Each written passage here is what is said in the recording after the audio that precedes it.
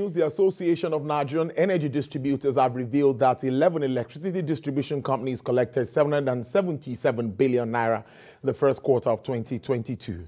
The Executive Director, Research and Advocacy, Mr. Sunday Oduntan, who issued a statement in Abuja, noted that the high collection was recorded despite various lapses in the industry.